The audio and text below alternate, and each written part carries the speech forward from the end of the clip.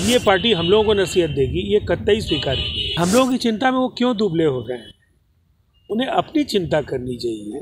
अब जनता ने सड़क पर उन्हें फिर से एक बार छोड़ दिया है। नमस्कार आप देख रहे हैं लाइव सिटीज़ में हूँ आपके साथ शिवम। बिहार में महागठबंधन की हार के बाद कल राजद के तरफ़ से समीक्षा बैठक बुलाई गई थी जिसमें नेता प्रतिपक्ष तेजस्वी यादव ने अपने नेताओं को यह निर्देश दिया था कि 2021 में कभी भी चुनाव हो सकता है। इसको लेकर जब हमने जेडीयू के प्रवक्ता राजीव रंजन से बात की तो उनका क्या कुछ कहना है? पहले आप वो सुने।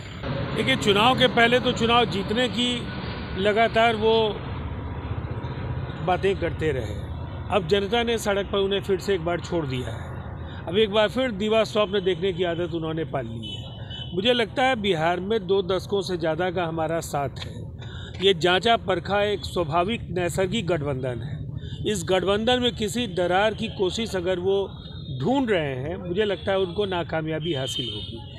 बजाय इसके कि वो हमारे अलायंस के बिखरने और हमारी सरकार के पतन का इंतज़ार करें, उन्हें अपने पार्टी के अंदर के संभावित बिखराव को देखना होगा, कार्यकर्ताओं और नेताओं के बीच अपने प्रति विश्वास पैदा करना होगा।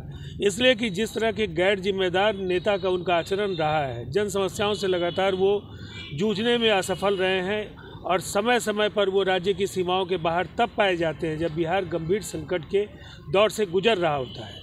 इसीलिए उन्हें अपनी चिंता करनी चाहिए अपनी पार्टी की चिंता करनी चाहिए। कांग्रेस कह रही है कि बिहार में एनडीए में ठीक नहीं है जिस कारण से अभी तक कैबिनेट का विस्तार नहीं हुआ। कई मुद्दों पर बात नहीं हुई जो परिषद की सीट खाली है उस पर सहमति नहीं बन पाई जिस कारण से इलेक्शन नहीं हो पाया। हम लोगों की चिंता में वो क्यों दुबले हो रहे हैं उन्हें अपनी चिंता करनी चाहिए। सौ साल से पुरानी पार्टी अलग अलग राज्य में किसी न किसी दल के पिछलघुपन से वो उभर नहीं पा रहे हैं।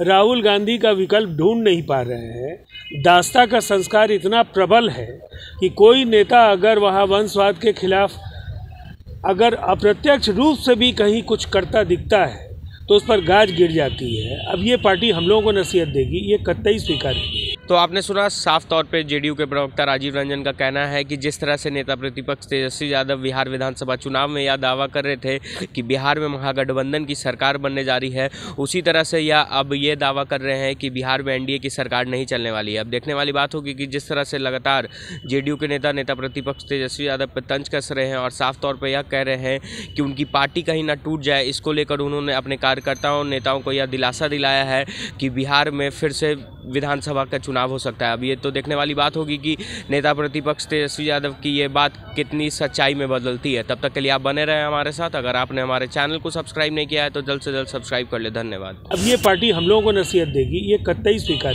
हम लोगों की चिंता में वो क्यों दुबले हो रहे हैं? उन्हें अपनी चिंता करनी चाहिए। अब जनता ने सड़क पर उन्हें फिर से एक बार छोड़ दिया है।